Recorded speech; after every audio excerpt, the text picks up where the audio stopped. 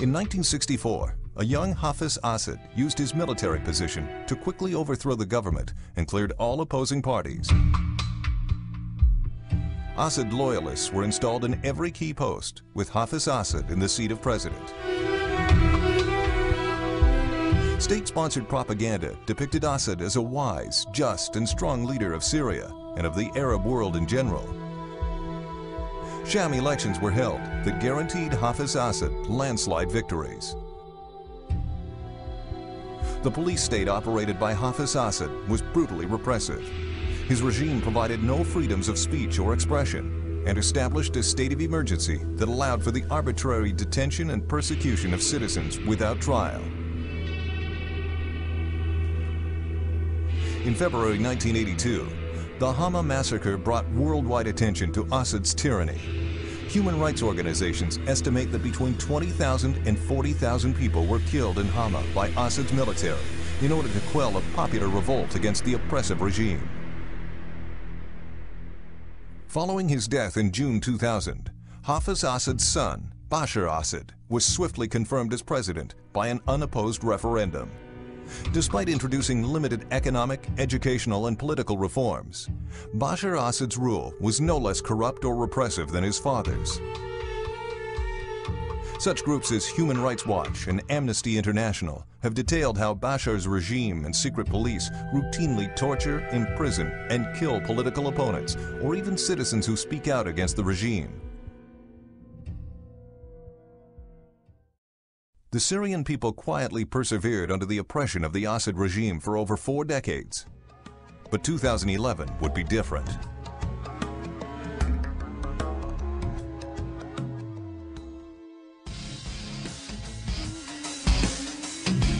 In the small town of Dara, the largest protest to take place in decades would follow. Peaceful demonstrators called for freedom and an end to corruption, but were met with the deadly force of Bashar Assad's security police. The Dara protests began to grow exponentially, falling into a tragic pattern with funerals turned protests leading to more deaths at the hands of security forces. Calls for freedom and an end to the regime quickly spread across the entire country, and the response by the regime was no less ruthless.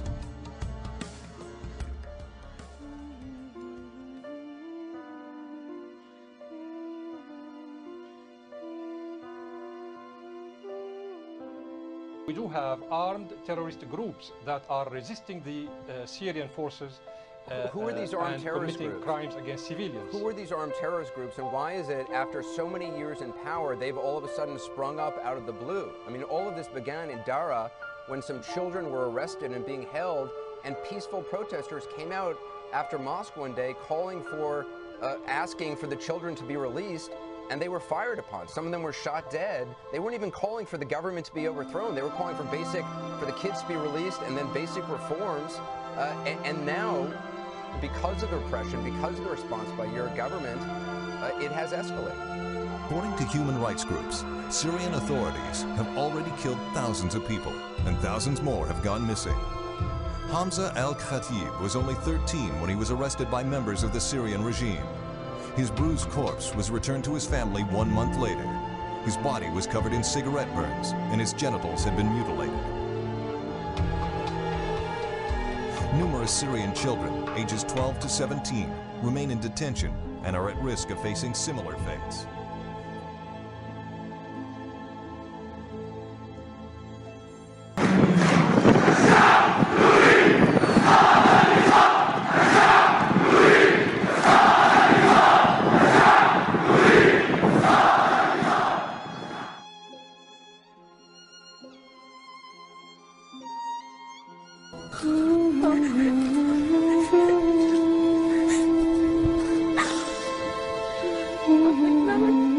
Mm-hmm.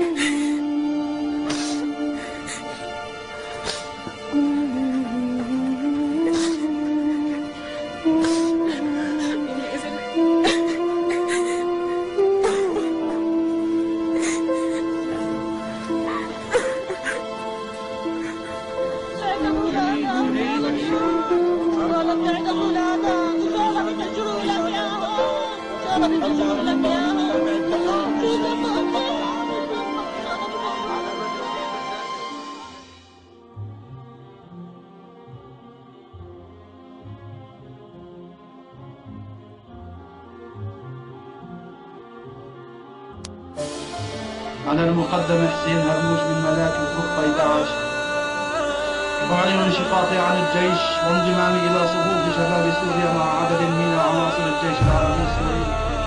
أنا الملازم أول عبد الرزاق محمد طلاس من الفرقة الخامسة.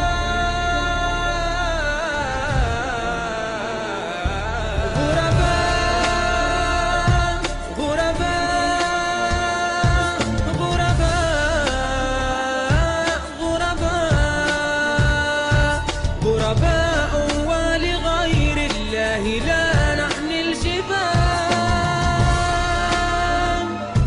غرباء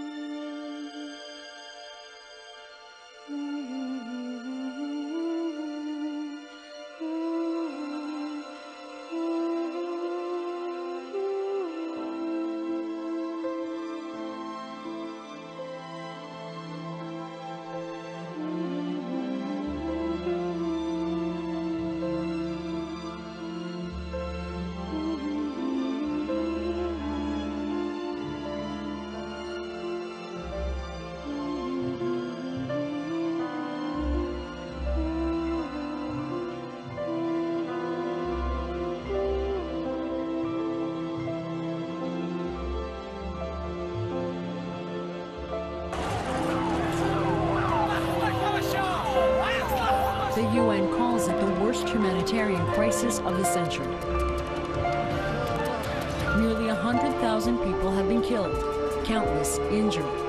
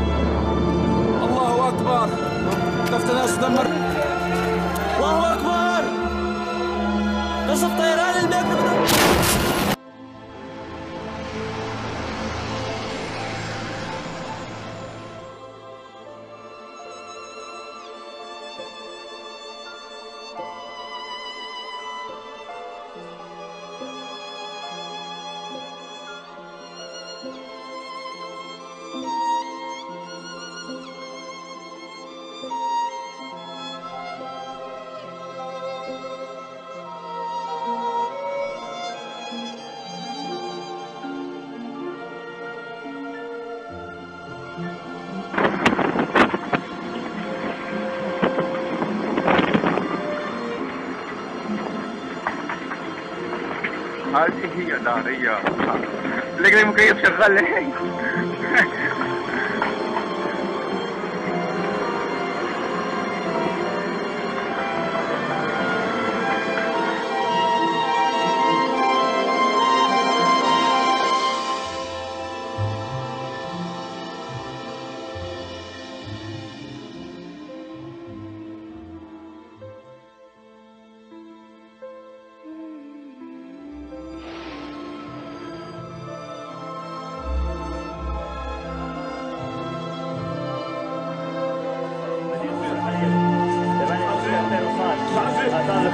الاختراق والتشنج الغازات كلها التي نصبت على النجاه وصول الحريق الله اكبر يا شباب الدكتور الله اكبر الله اكبر الله اكبر دكتور يا شباب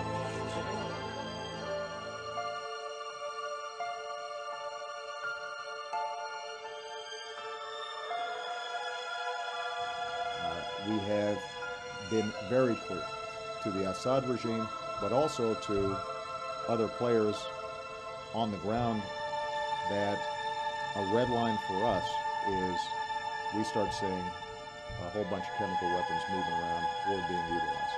Uh, that would change my calculus. That would change my equation.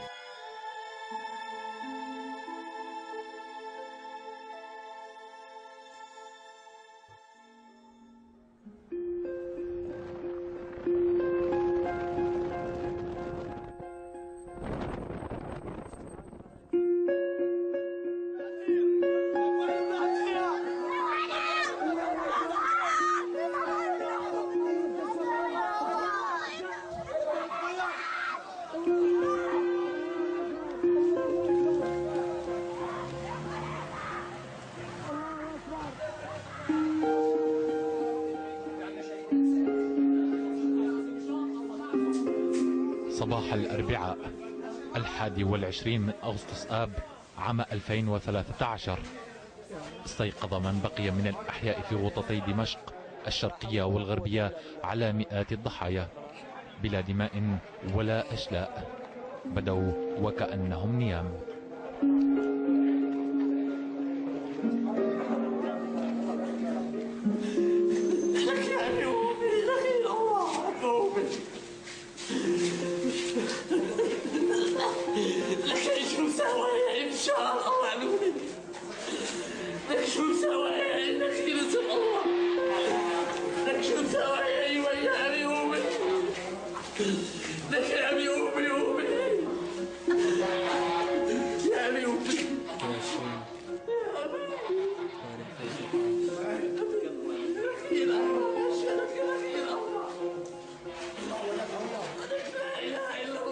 من يعيدهم لي. يصرخ الأب لكن الأطفال يغطون في موت عميق. حالهم كحال هؤلاء. كثير منهم ماتوا على أسرتهم. كثير منهم ماتوا وهم في طريقهم طلبا للنجدة من شيء لم يألفوه من قبل. مثل هذا الطفل وأمه. فقد كان الموت أسرع إليهما حتى قبل أن يخرجا من منزلهما.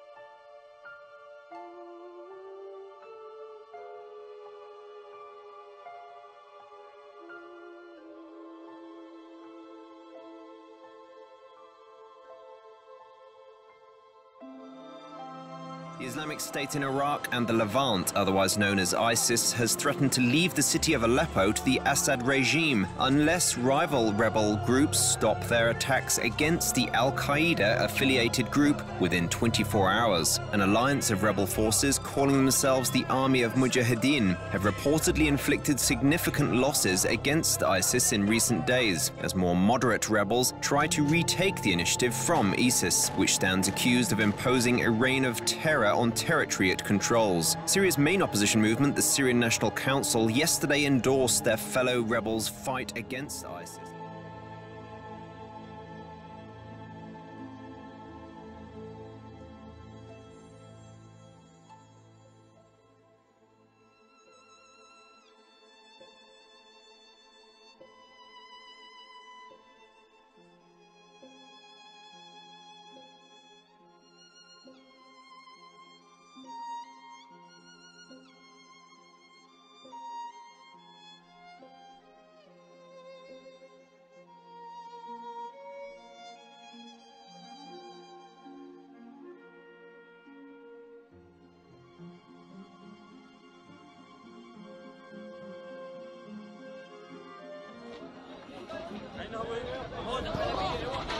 الله الله! الله! يا رب دخيلك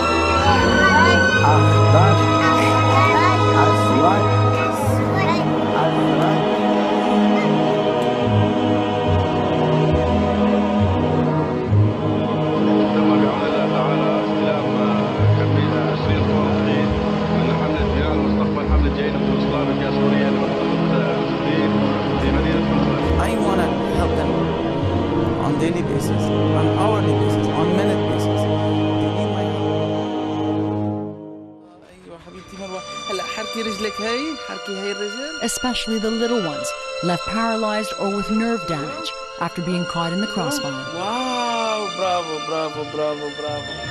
I ask myself, how come I didn't cry when I was there? And the reason, I knew the reason, because there is no time to cry there. One quarter of Lebanon's population are refugees from Syria. Most are women and children. Hala and her five siblings arrived here as orphans. Like many refugees in Lebanon, this tent has become their home. When I met Hala and her brothers and sisters, they had been living in this camp for almost a year.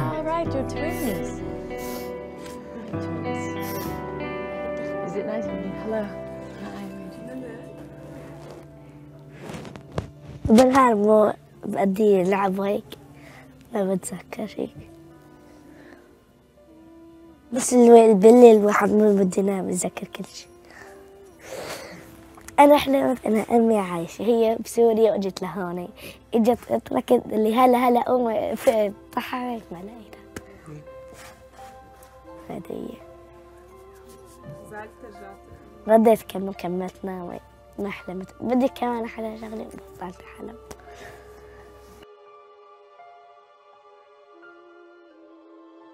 My involvement with Zaytun is um, to share the somatic therapy, somatic therapy for kids. And um, one, one part of the project is help the teachers be able to, to facilitate the somatic therapy and somatic contact with children.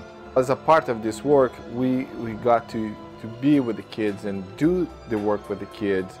So it's kind of a bridge between the teacher and, and, and the kids. Uh, Ali and I worked together in, uh, in disaster areas before, but we both have identical trainers, but the training's both in body work and in the trauma work. So uh, we came as a team, and I came to uh, support his particular therapeutic model with kids. Uh, my name is Rory O'Connor and I'm the creator of a really simple storytelling game called Rory's Story Cubes. It's my second time here at Zaytona working with the children. I'm here to tell stories and really inspire the children to become storytellers with their families and their friends. And it's really my hope is to leave them with a toy and an activity that can kind of keep them going during the, the dark times uh, while they're away from Syria.